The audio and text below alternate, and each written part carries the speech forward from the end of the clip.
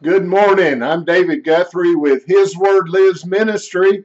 And first off, we're going to have our prayer time today.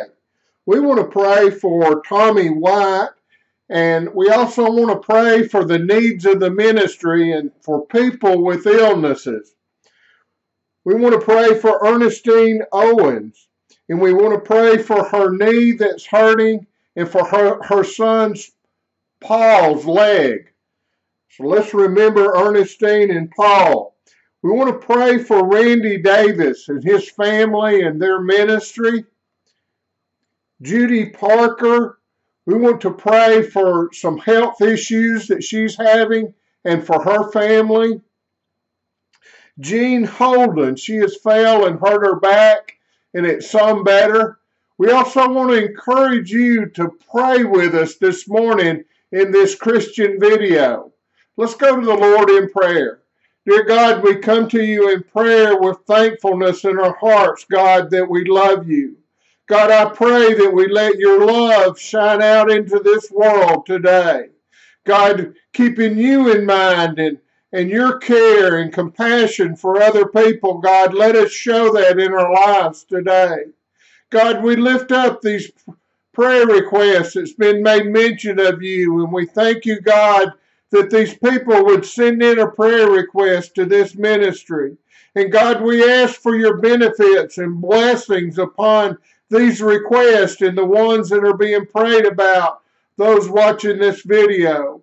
God, we thank you and praise you for all of your goodness. In the name of Jesus, we pray. Amen. Amen. I want to read some scripture today from the book of John in chapter 2, verses 12 through 25. After this, he went down to Capernaum, he, his mother, and his brethren, and his disciples, and they continued there not many days. And the Jews' Passover was at hand, and Jesus went up to Jerusalem and found in the temple those that sold oxen and sheep and doves and changers of money sitting and when he had made a scourge of small cords, he drove them out of the temple, and the sheep and the oxen, and poured out the changers' money, and overthrew the tables, and said unto them that sold doves, Take these things hence, make not my father's house an house of merchandise. And his disciples remembered that it was written, The zeal of that house hath eaten me up. Then answered the Jews and said unto him, What sign showeth thou unto us, seeing that thou doest these things? Jesus answered and said unto them, Destroy this temple, and in three days I will raise it up. Then said the Jews, Forty and six years was the temple in building, and wilt thou rear it up in three days? But he spake of the temple of his body. When therefore he was risen from the dead, his disciples remembered that he had said this unto them. And they believed the scripture and the word which Jesus had said.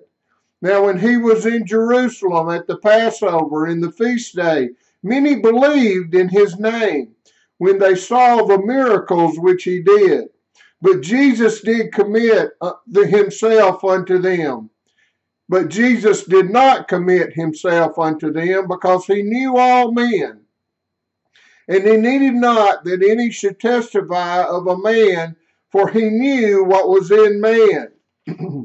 this scripture tells uh, of Jesus' early ministry where he took uh, time and he went to Capernaum, which was a place of his ministry headquarters uh, early on, and he was with his mother and his brethren and his disciples.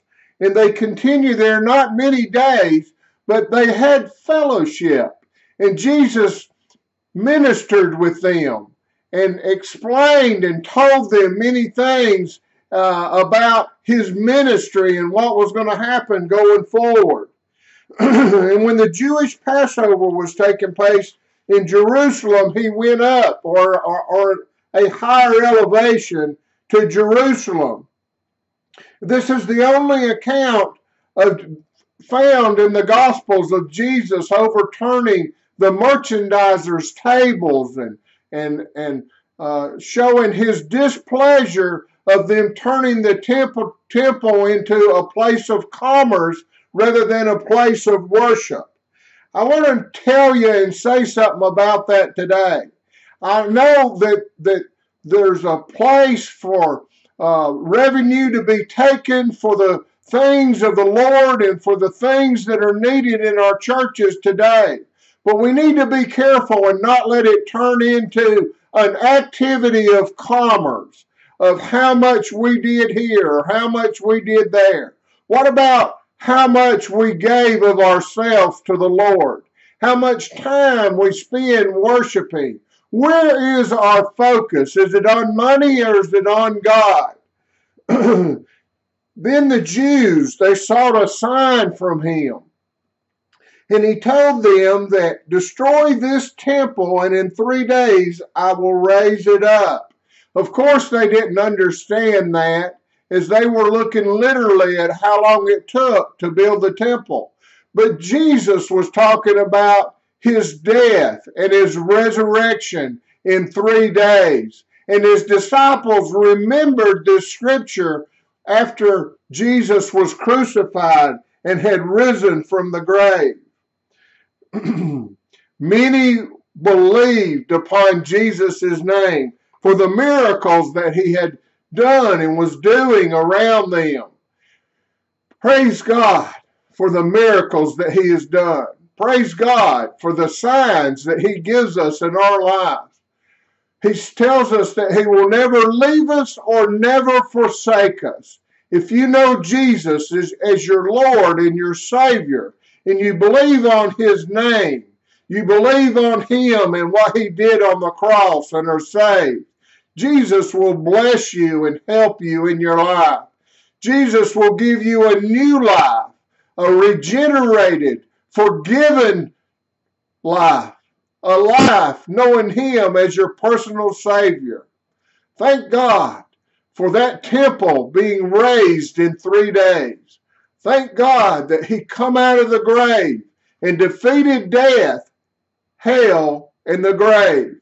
Praise God for our Lord and Savior, Jesus Christ. If you don't know him, you can know him today. Today can be your day of salvation.